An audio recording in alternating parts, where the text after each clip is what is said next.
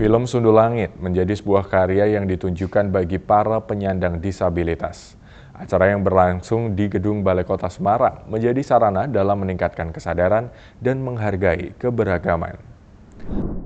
Kamis 5 September 2024, Ketung Moc Iksan, tepatnya di ruang lokal Krida lantai 8 Balai Kota Semarang, menjadi tempat berlangsungnya penayangan film Sundul Langit.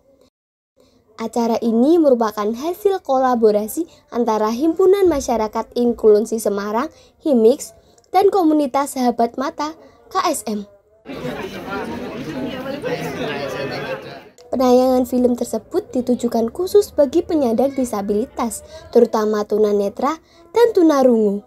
Penayangan film ini dihadiri oleh berbagai kalangan, termasuk pelajar dari SMK, SMA, SMP, serta anggota komunitas tunanetra dan tunarungu.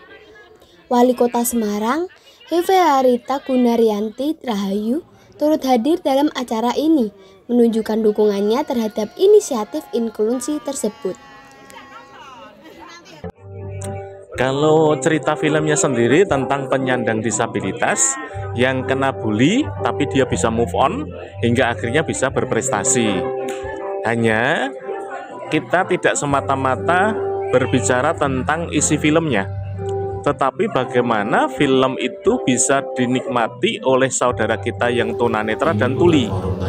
Jadi ketika ada adegan-adegan yang tanpa dialog, ya, itu nanti tunanetra bisa mendengarkan narator yang bercerita adegan itu sedang apa. Itu lewat headset yang terpasang di telinga masing-masing untuk uh, mereka yang tunanetra. Sementara untuk yang tuli, mereka bisa membaca subtitlenya.